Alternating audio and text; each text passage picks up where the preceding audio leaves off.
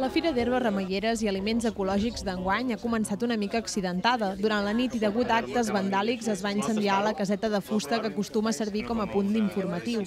Així, ja des de bon matí es van haver de prendre mesures perquè l'esdeveniment es pogués celebrar amb normalitat.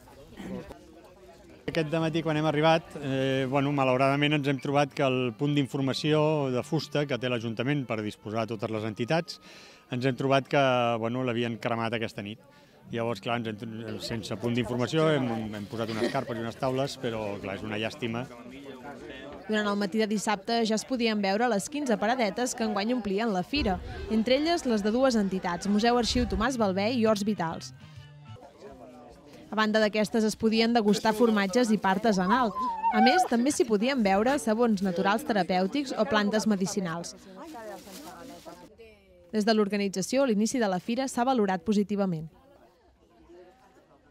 Enguany, com a novetat, tenim lo dels ocells, el taller de pesto i lo dels contes pels infants. Després del matí tranquil de remeis naturals, només calia esperar la tarda per gaudir d'una passejada remeiera o del ball de bastons de la colla infantil de Cardedeu.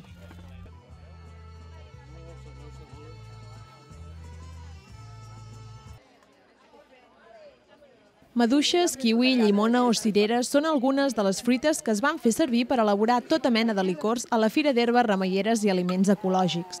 El Museu Arxiu Tomàs Balvei va ser l'encarregat d'ensenyar totes aquestes receptes als assistents. Primer es van donar alguns consells sobre els materials, ingredients i estris més idonis en l'elaboració d'aquests licors. A més, es va donar l'opció de que cada participant escollís quina era la barreja que més interès tenien a prendre. Així, el centre del Parc de la Serreta es va convertir en un espai on es va poder gaudir de l'alimentació ecològica i dels licors amb ingredients d'allò més naturals. Tècniques i receptes que a partir d'ara segur que seguiran utilitzant.